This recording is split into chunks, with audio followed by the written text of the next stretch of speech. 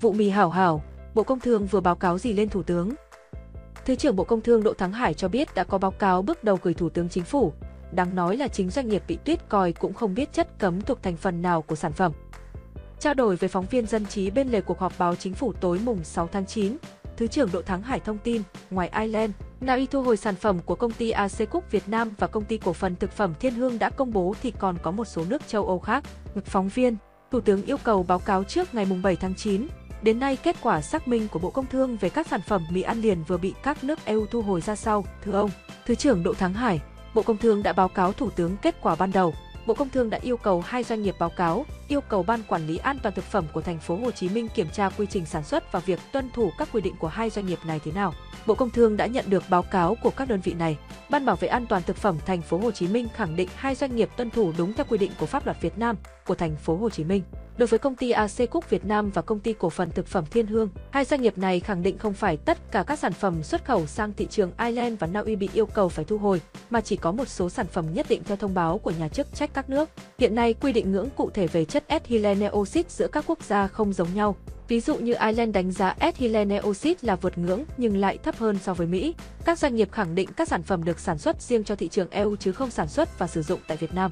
Bộ Công Thương cũng cần thêm thời gian để phối hợp với Bộ Y tế và các đơn vị liên quan tiến hành kiểm tra các sản phẩm của hai doanh nghiệp này để xác định việc tuân thủ quy định là như thế nào, đặc biệt là chất lượng của các sản phẩm sản xuất tại Việt Nam có đáp ứng được hay không. Ông vẫn đang nói về báo cáo của các doanh nghiệp, ông có thể nói rõ hơn về kết quả kiểm tra với chính các sản phẩm bị thu hồi. Chúng tôi cần có thêm thời gian. Hiện cơ quan trực tiếp quản lý là Ban Quản lý An toàn thực phẩm thành phố Hồ Chí Minh. Họ đã báo cáo tới Bộ Công Thương và khẳng định các doanh nghiệp đều tuân thủ các quy định hiện hành. Trong khi đó, các doanh nghiệp cũng cho biết họ sản xuất theo quy định của các quốc gia xuất khẩu sản phẩm. Việc thu hồi cũng chỉ xảy ra ở một số quốc gia. Thu hồi sản phẩm như ông đề cập tại các quốc gia được tiến hành như thế nào, thưa ông? Trước mắt là các nước đang yêu cầu thu hồi sản phẩm ở các đại lý đang bán, không được bán các sản phẩm này nữa. Qua thực tế chắc chắn sẽ cần phải có những quy định cụ thể hơn, không chỉ với chất ethylene oxide mà đối với các chất khác có thể gây ảnh hưởng tới sức khỏe của người tiêu dùng. Châu Âu là thị trường rất khó tính với các mặt hàng nhập khẩu. Qua sự việc này có lo ngại ảnh hưởng tới con đường xuất khẩu các sản phẩm của Việt Nam sang châu Âu không? Bộ Công Thương đã khuyến cáo các doanh nghiệp khi xuất khẩu vào thị trường nào thì phải nghiên cứu kỹ các quy định của thị trường đó. Như thị trường Mỹ, họ có quy định cao hơn rất nhiều so với những tiêu chuẩn của các thị trường khác mà Việt Nam có sản phẩm xuất khẩu. Bởi vậy, các doanh nghiệp muốn xuất khẩu sản phẩm vào thị trường nào thì phải tuân thủ quy định của thị trường đó, không tuân thủ thì không thể xuất khẩu hàng hóa được. Vậy đã xác định được chất ethylene oxide vượt ngưỡng trong mì ăn liền bị các nước châu Âu yêu cầu thu hồi là ở thành phẩm nào chưa? Thưa ông, đến nay các doanh nghiệp cũng chưa xác định được chất ethylene oxide có trong thành phần nào của sản phẩm. Tại sao lại lẫn vào sản phẩm? Có phải ở mì, bột hay gia vị không? Việc bây giờ là các doanh nghiệp phải cùng với các cơ quan có thẩm quyền ở Việt Nam để xác minh rất rõ vấn đề, xác định chất ethylene oxide ở trong thành phần nào của sản phẩm. Đây là việc rất quan trọng. Các cơ quan thương vụ Việt Nam tại nước ngoài đã trực tiếp liên hệ và làm việc với cơ quan chức trách của các quốc gia có liên quan để làm rõ các yêu cầu trong vụ việc này. Như ông nói thì doanh nghiệp vẫn tuân thủ đúng quy định, tiêu chuẩn sản xuất, nhưng bản thân các doanh nghiệp cũng không xác định được chất ethylene oxit vượt ngưỡng ở thành phần nào của sản phẩm. Rõ ràng đây là vấn đề cần đặt câu hỏi về năng lực kiểm tra của chính doanh nghiệp.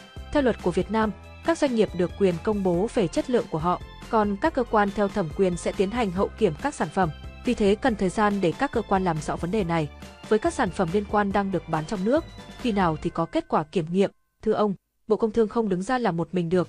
Chúng tôi đang phối hợp với Bộ Y tế và các cơ quan liên quan, vì vậy chưa thể khẳng định khi nào. Phải chờ các cơ quan kiểm nghiệm khác chứ không riêng Bộ Công Thương. Việc kiểm nghiệm phải do các cơ quan có thẩm quyền, có chức năng để xác định về tính chất và mức độ. Ngoài các sản phẩm này, chúng tôi còn lấy các mẫu khác, sản phẩm của các doanh nghiệp sản xuất sản phẩm tương tự, thậm chí là sẽ mở rộng hơn. Xin cảm ơn ông.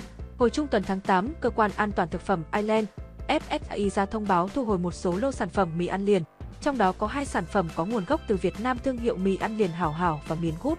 Một số lô sản phẩm mì ăn liền đang bị thu hồi do có chứa ethylene oxide. Chất này không được phép sử dụng trong thực phẩm bán ở EU. Người tiêu dùng ăn phải chất này không có nguy hiểm cấp tính nhưng có thể gặp vấn đề sức khỏe nếu ăn phải ethylene oxide trong một thời gian dài. Cơ quan này cảnh báo cần hạn chế tối đa tiếp xúc với chất này.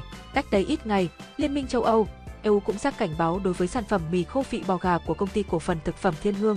Văn phòng Chính phủ đã đề nghị Bộ Công Thương phối hợp với các Bộ Y tế, Nông nghiệp và Phát triển Nông thôn kiểm tra, có văn bản báo cáo Thủ tướng về việc này trước ngày 7 tháng 9.